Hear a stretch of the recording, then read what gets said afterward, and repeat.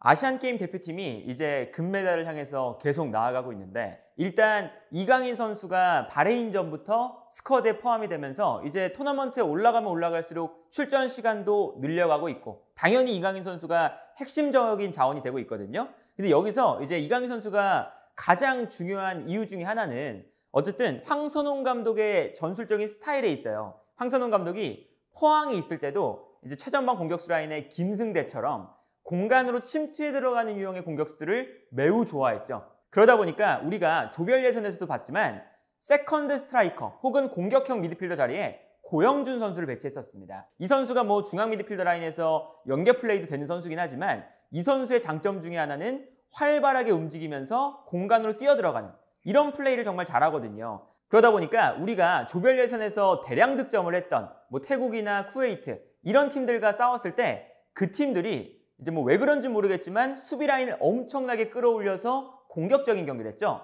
그런데 여기서 황선홍 감독이 K리그에 있을 때부터 사실은 뭐 포항 시절부터 뭐 대전, 서울 시절까지 상대 수비 라인이 약간 올라와 있을 때 그 뒷공간을 잘 노리는 감독 중에 하나였습니다. 그러다 보니까 이번 아시안 게임에서 어떤 모습이 나오고 있냐면 상대가 수비 라인을 올렸을 때 황선홍 감독이 최전방 공격수 자리에 박재용처럼 키가 큰 선수가 아니라 조영욱처럼 공간으로 침투해 들어가는 선수를 또 배치해 놓고 그 밑에는 고영준처럼 플레이메이커의 성향보다는 조금 더 침투해 들어가는 플레이가 좋은 선수를 배치를 하고 여기에 뭐 오른쪽 왼쪽에는 정우영과 엄원상 스피드가 다 빠른 선수들이잖아요. 그래서 앞쪽 라인에 고영준이 올라가면서 약간 투톱처럼 배치가 되고 엄원상과 정우영도 있습니다.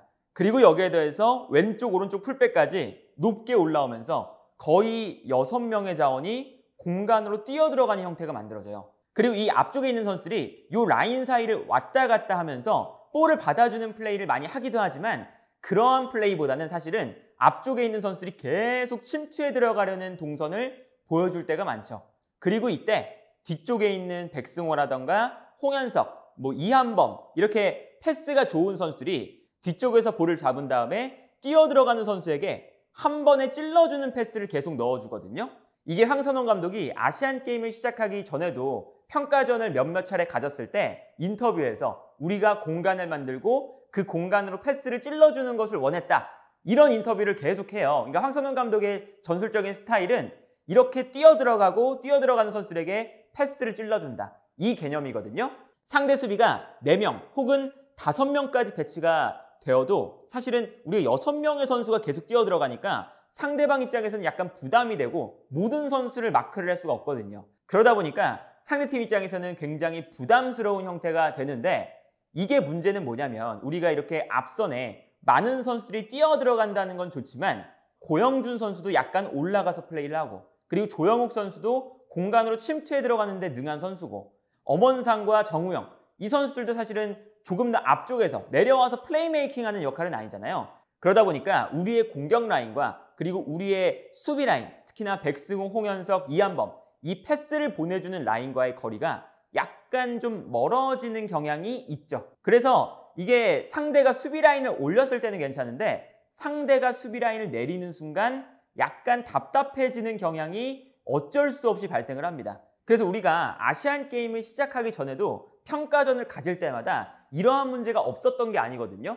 특히 상대의 밀집 수비를 상대할 때 황선홍 감독이 이 밀집 수비를 무너뜨리는데 매우 어려워하는 모습들이 실제로 나왔었어요. 그래서 아시안 게임 시작하기 전에 많은 우려들이 나왔던 거고 황선홍 감독의 전술에 대한 약간의 비판들이 있었던 건데 그러다 보니까 여기서 이제 이강인 선수의 역할이 매우 중요해지는 거죠. 아까 보여드렸던 이 최전방 공격수 밑에 있는 고영준 선수의 자리에 이강인 선수가 이제 배치가 될 건데 이강인 선수가 이 자리에 배치된다는 것은 결국에는 밀집 수비를 상대할 때 모든 선수가 올라가 있으면 수비 라인과 공격 라인이 멀어지면서 패스를 보내주는 거리가 일단 멀어진다는 걸 뜻합니다. 근데 더군다나 상대 수비가 라인을 내리면 공간이 사라지기 때문에 패스를 보내줄 때 거리도 멀고 사실은 이 좁은 공간으로 패스를 보내주게 되면 그만큼 패스의 정확도가 떨어지게 되고 우리의 세밀한 공격 패턴이 나오기가 힘들겠죠. 그러다 보니까 중간에 연결고리 한 명 정도는 있어야 돼요.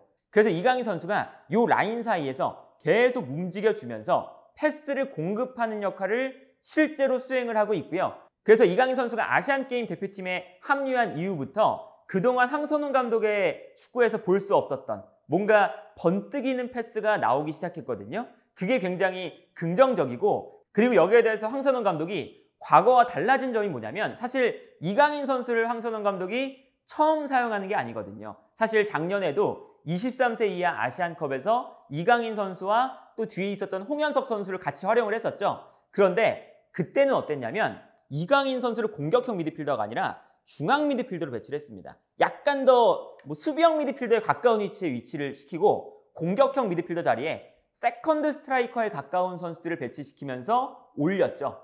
그러니까 이게 어떤 문제가 나오냐면 이강인 선수도 패스를 보내주는 거리가 멀어지는 현상이 나왔어요. 그리고 여기서 만약에 볼을 끊긴다면 여기서 역습을 당할 때 이강인 선수가 공격적으로 올라가다가 순간적으로 공간이 열리거나 이런 장면들이 나왔었거든요. 그래서 우리가 23세 이하 아시안컵에서 작년에 일본 대표팀에게 3대 0으로 패배를 하기도 했었죠. 그래서 그때 황선홍 감독이 대회가 끝난 이후에 내 선수 배치가 실패했다 라는 인터뷰를 하기도 했었는데 그러다 보니까 이번에는 약간 바뀐 게 뭐냐면 백승호 선수가 있으니까요. 백승호 선수를 뒤에 놔두고 이강인 선수를 그냥 공격형 미드필더로 활용을 하기 시작했어요. 그러니까 이거는 황선홍 감독이 앞쪽 라인에 공격수를 한 명 줄이는 것을 감수하고서라도 이강인 선수의 플레이메이킹을 활용해서 중앙에서 연결고리가 있는 것이 낫겠다라는 이제 뭔가 깨달음을 얻은 것 같고 그리고 여기에 대해서 백승호와 홍현석이 있으니까 홍현석 선수가 한 칸 올라와 줄 때가 많죠. 그러면 이제 홍현석 선수와 이강인 이 두 명의 연결고리가 만들어지면서 앞쪽에 있는 뭐 좌우 풀백 그리고 가운데 있는 조영욱, 엄원상, 정우영 이 선수들에게 패스를 계속 찔러줄 수 있는 형태가 자연스럽게 만들어지는 거거든요. 그리고 특히나 뭐 이강인 선수가 여기서 정말 자유롭게 움직이면서 플레이메이킹을 해주기 때문에 여기서 이강인 선수에게 수비가 쏠리면 쏠리는 만큼 다른 선수에게 또 공간이 나는 효과도 있고요. 그리고 특히나 이강인 선수가 약간 오른쪽에서 플레이를 할 때 상대 수비가 한쪽으로 쏠릴 때가 있죠. 그리고 이때 반대편에 정우영 선수가 측면을 넓게 활용하면서 이강인 선수가 정우영을 바라보면서 패스를 넘겨주는 형태가 나올 때가 많습니다. 그리고 이러한 패스가 한 번 들어가면 정우영 선수가 넓은 공간에 있기 때문에 상대 수비가 끌려가면서 2차적인 공간이 만들어지고 여기서 이제 우리가 좋은 찬스를 맞이하는 장면들이 계속 나오고 있거든요. 이제 그러다 보니까 우리가 밀집 수비를 상대할 때 이강인의 역할은 어쨌든 밀집 수비 사이에 패스를 찔러줄 수 있다는 거. 그리고 이렇게 방향 전환 패스가 생겼다는 게 당연히 이강인 선수의 존재가 매우 중요하고 뭐 황선홍 감독이 계속해서 이강인을 빠르게 합류시키고 싶어 했다라고 이제 얘기를 계속 반복해서 했던 이유가 아무래도 황선홍 감독이 밀집 수비를 풀어내는 것을 좀 어려워하는 감독이기 때문에 이강인의 이 개인 능력, playmaking, 또 창의적인 그런 패스 플레이 이런 것들을 살려서 뭔가 이 밀집 수비를 무너뜨리는 패턴을 그래도 만들어낼 수 있는 선수니까 이 이강인 선수의 존재가 점점 더 우리가 토너먼트를 거듭하면 거듭할수록 더욱더 중요해지지 않을까라는 생각이 들고요. 물론 이제 우리가 아시안 게임에서 어떤 팀을 상대해도 압도적인 전력을 갖고 있는 팀이긴 하죠. 뭐 이강인부터 홍현석, 정우영 모두 유럽에서 지금 다, 잘 뛰고 있는 선수고 여기 이한범 선수도 있죠.